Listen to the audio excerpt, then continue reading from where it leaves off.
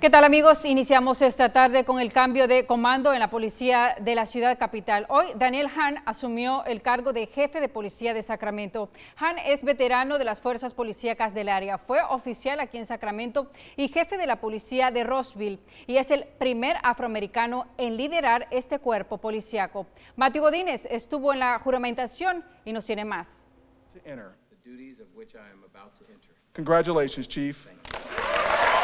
Con aplausos, esperanza y alegría. Así recibieron al nuevo jefe de policía de Sacramento, Daniel Hahn. Esperamos que se relacione más con la comunidad hispana para que la misma comunidad hispana se tenga más uh, confianza con la policía y esperamos ver un cambio que mejore todo aquí en Sacramento. Es la opinión de María Sevilla, residente de Sacramento por más de 10 años.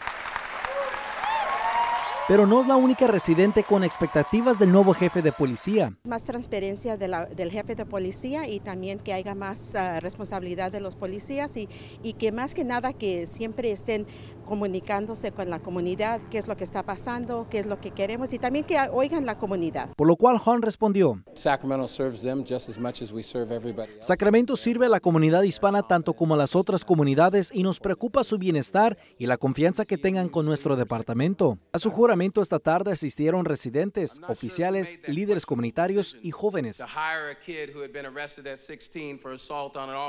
quienes se motivaron con su discurso. Es una inspiración, enseña a los jóvenes que alguien puede cambiar su vida, no depende de cómo hicieron antes, porque pueden cambiar por lo bueno y hacer algo mejor en la vida.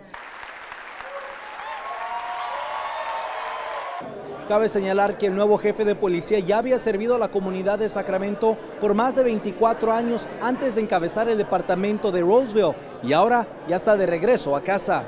En Sacramento, Matthew Godínez, Noticiero Telemundo 33.